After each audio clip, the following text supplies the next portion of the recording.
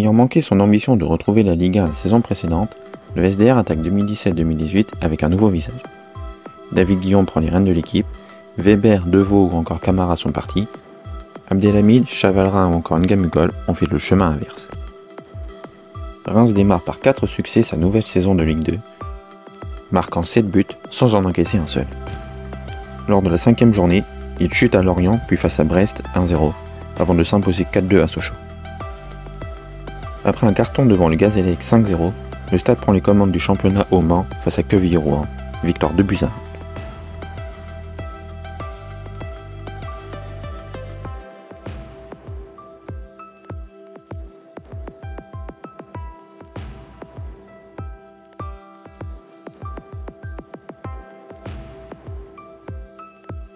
Grâce à des succès acquis à Lens, Ajaccio, Niort ou face à Nancy et Valenciennes, Reims atteint la trêve en tête du championnat avec 44 points, 4 de mieux que Nîmes.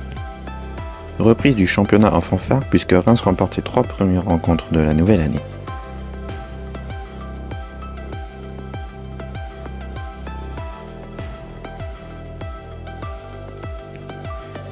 Et c'est encore Lorient qui stoppe la belle série rémoise en s'imposant à Delaune un but à zéro. Le SDR se relève avant de perdre à nouveau à Clermont. Mais ce Reims ne doute jamais et pulvérise dans la foulée Châteauroux 4-0, puis Balance 3-1, Nancy 2-0 et Paris 3-0. Reims-Ajaccio, 34e journée. Un succès et Reims accédera officiellement à la Ligue 1. Malgré un match moyen, un but de quai envoie le stade en Ligue 1. La défaite nimoise dans le même temps offre au stade le titre de champion. Après deux saisons difficiles, Delaune laisse éclater sa joie.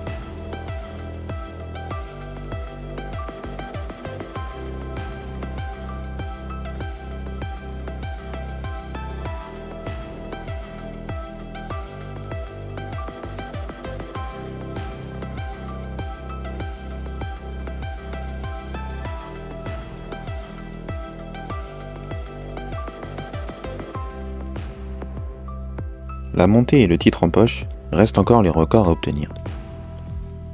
Grâce à de nouvelles performances, Reims bat le record de points acquis sur une saison, 88, le record de victoire, 28, le record de victoire extérieure, 14, le record de but, 74, bientôt battu par Nîmes, 75, et la meilleure différence de but, plus 50.